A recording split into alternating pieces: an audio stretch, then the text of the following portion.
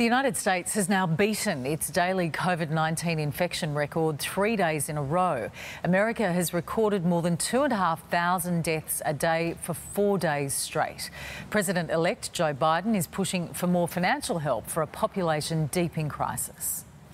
Every 30 seconds, an American is dying from COVID 19. It's now overtaken heart disease as the leading killer in the US. Yesterday, an unthinkable 2,800 lives lost in just one day, countless more shattered by the economic fallout. If we act now, now I mean now, we can begin to regain momentum and start to build back a better future. President elect Joe Biden is calling on Congress to pass an emergency spending bill. We're looking at hundreds of billions of dollars. People need food on the table, they need to get their rent paid.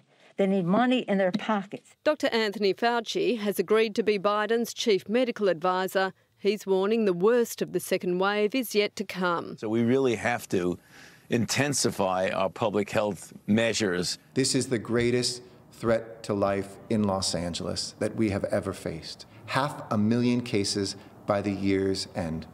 It's one out of 20 people here. But as the virus marches on, so too does the politics. Vice President Mike Pence was in Georgia rallying for Republican senators as the all important control of the US Senate hangs in the balance. We're going to keep Georgia. We're going to save the Senate, and then we're going to save America. Barack Obama was there too. The Senate really matters.